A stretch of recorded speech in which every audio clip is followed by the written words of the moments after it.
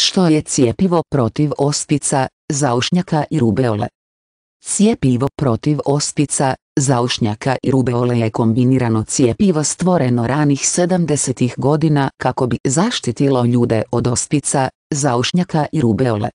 Ove bolesti iz djetinjstva bile su raširene prije razvoja cijepiva protiv ospica, zaušnjaka i rubeole i od tada su gotovo potpuno uništene u mnogim zemljama.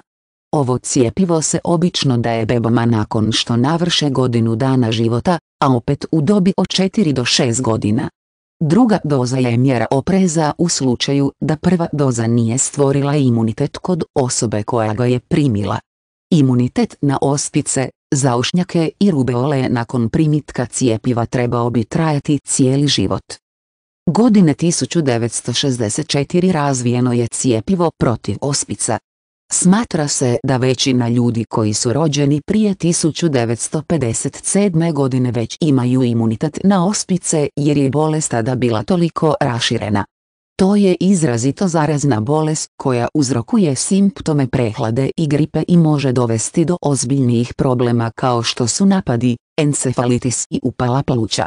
Preko 450 ljudi umrlo je od ospica svake godine prije uvođenja cijepiva, a više od pola milijuna bilo je potrebno hospitalizirati. Budući da je cijepivo dostupno, većina ljudi koji su dobili ospice su oni koji su ili odbili cijepivo ili imali samo jednu dozu umjesto dvije. Nakon što je nastalo cijepivo protiv ospica, cijepivo protiv zaušnjaka izašlo je 1967 godine. Zauške nisu bile uobičajene kao kod ospica, ali još je uvijek bilo stotina tisuća slučajeva prijavljenih svake godine prije cijepiva. Simptomi zaušnjaka uključuju otečane žlijezde, groznicu i glavobolju. Ova bolest može uzrokovati sterilnost kod muškaraca koji nakon puberteta razvijaju zaušnjake zbog oritisa, koji je jaka upala testisa. Druge ozbiljne komplikacije mogu biti gluhoća, encefalitis i meningitis. Razvijeno je cijepivo za rubeolu, također poznatu kao njemačka ospica, 1969. Ovo stanje nije tipično ozbiljno kao zaušnjaci ili ospice, ali može biti vrlo opasno za nerođeno dijete trudne majke. Žene koje razvijaju rubeole u očekivanju su izložene većem riziku od spontanog pobačaja i mogu imati djecu s defektima u rođenju, mentalnom retardacijom, srčanim problemima ili drugim problemima.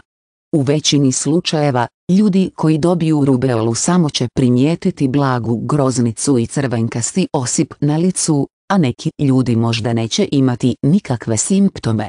Od stvaranja cijepiva došlo je do smanjenja broja slučajeva rubeole za 99 podijeljen svake godine. Liječnici preporučuju cijepivo protiv ospica, zaušnjaka i rubeole, osim ako zdravstveno stanje ili medicinski tretman ne mogu izazvati nuspojave. Trudnica koja još nije bila cijepljena trebala bi pričekati do rođenja djeteta kako bi dobila cijepivo. Odrasli i djeca koja ih primaju mogu imati nuspojave, ali su obično vrlo blage i brzo nestaju. Najčešće nuspojave su vrućica i osip, a one se mogu pojaviti i do 12 dana nakon primitka cijepiva protiv ospica, zaušnjaka i rubeole. Ozbiljnije nuspojave, kao što su napadi ili problemi s krvarenjem, izuzetno su rijetki.